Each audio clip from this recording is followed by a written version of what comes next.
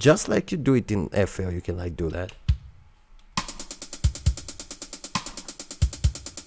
Hello, welcome to Pro Mixing and Mastering. Today I'm gonna teach you and show you how to use beat design in Cubase. So let's go ahead and open up new project. Then it's gonna be on empty. Then from there, just create your folder. Let's say beat design or the title of your song.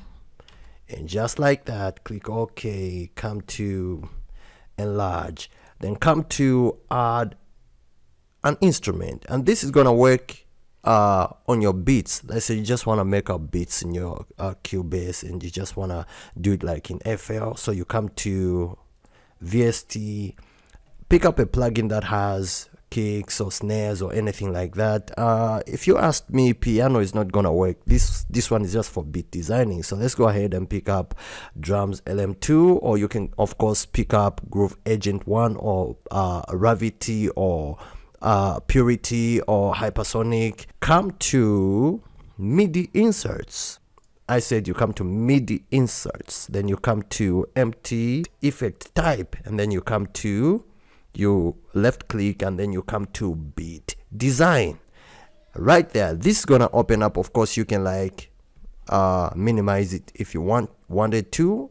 Whenever it disappears you just come to edit channel edit and then it's gonna be it's gonna come back. So this is where you design your beats. This is gonna be your drum bass drum.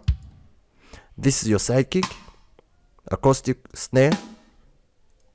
So and all that so right now let's say you wanna like do it in FL you're not plotting so you can also do it in in uh, Cubase Cubase has a lot of things that you can do in it so you start by just left clicking that's your where your kick is gonna be like.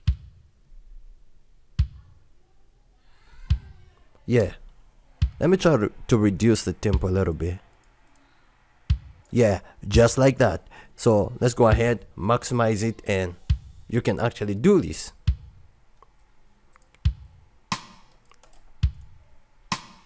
Just like you do it in FL, you can like do that.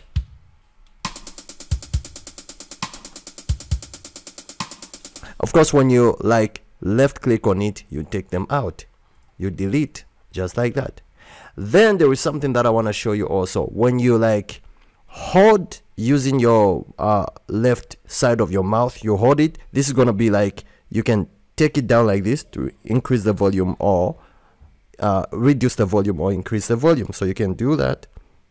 Increase the volume or reduce the volume. That's one cool thing about beat designing. You preview the samples that you have. You can also put a crusher. Where is the crusher crusher right there.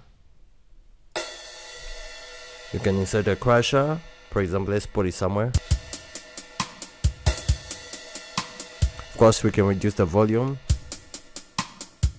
And then you can come to to the same place where it's empty and then you can insert another one that you want. Right? Cymbal like this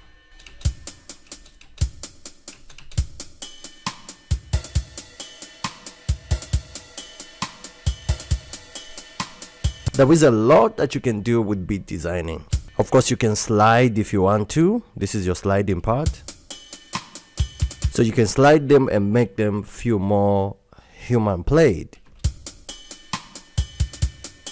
Uh, I want you to check out this one. And once you're done this one is empty. Of course you can like bring all these things that you've played into your playlist like that. Open it up insert button add case i mean. So you just have to like click there and then close this. Of course you can like turn it off. If you do not turn it off it's gonna play together with what you've inserted there. So let's just uh, increase this. When you open it up you find that it's already done. It's already inside right there. What I played in beat design has been shifted over to the piano roll like this so of course let me do this or you can also just like increase and do that.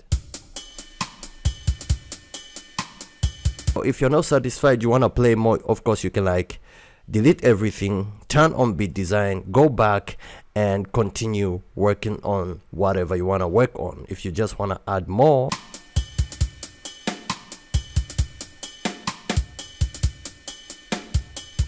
And once you're done again you just come to pattern functions and then you insert pattern add cursor just like that. Close it up turn it off just like that. Now you can also just extend everything. This is the easiest way you can like plot and just design your beats. A lot of people find it so hard trying to make beats from the piano roll so you can like use beat design to design the way you especially if you're an FL user just want to make your beat in Cubase you can use beat design. It's the same as the way you do it in FL Studio. So I hope this video has helped you. Don't forget to leave a like please subscribe. I'll see you in the next one